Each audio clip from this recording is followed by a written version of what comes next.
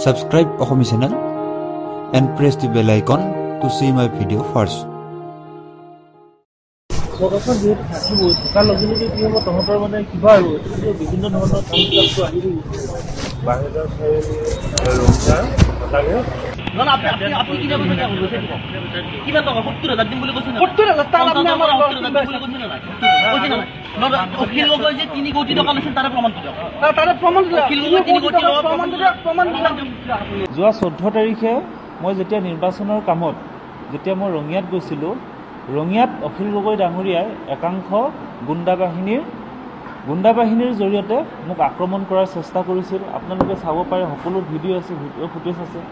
তেখেতে একাংশ গুণ্ডা বাহিনী লৈ মোক ৰঙিয়াত ৰঙিয়াত আক্ৰমণ কৰাৰ চেষ্টা কৰিছিল অখিল গগৈ ডাঙৰীয়াৰ কুকীৰ্তিসমূহ ৰাজহুৱা কৰাৰ পাছত অখিল গগৈ ডাঙৰীয়াই মোক তেখেতৰ প্ৰধান শত্ৰু হিচাপে গণ্য কৰি অখিল গগৈ ডাঙৰীয়াই মোক আক্ৰমণ কৰাৰ মোক হত্যা কৰাৰ এনেকুৱা ধৰণৰ ভাবুকিবিলাক দি আহিছে।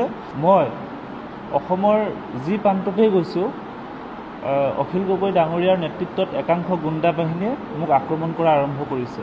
গতিকে মই অখিল গগৈ ডাঙৰীয়াৰ ওপৰত আজি দিছপুৰ থানাত এখন এজাহাৰ দি আহিছোঁ যে অখিল গগৈ ডাঙৰীয়াই কেবৰ যিটো মুভমেণ্ট তেখেতে অংশগ্ৰহণ কৰিছিল কেবৰ আন্দোলনৰ পাছত তেখেতে কংগ্ৰেছৰ লগত বিশেষকৈ ৰাহুল গান্ধী আৰু কংগ্ৰেছৰ হাইকমাণ্ডৰ লগত তেখেতৰ এটা সুসম্পৰ্ক গঢ়ি উঠিছিল।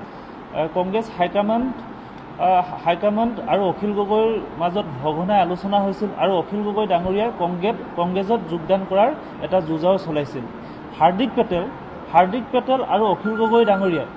প্ৰায় একে সময়তে কংগ্ৰেছত যোগদান কৰাৰ কথা আছিল আৰু অখিল গগৈ ডাঙৰীয়াই ৰাহুল গান্ধী ডাঙৰীয়াক এটা প্ৰস্তাৱ দিছিল যে তেখেতে যদি কংগ্ৰেছত যোগদান কৰিব লাগে তেতিয়া অখিল গগৈ ডাঙৰীয়াক প্ৰদেশ কংগ্ৰেছৰ সভাপতি পাতিব লাগিব।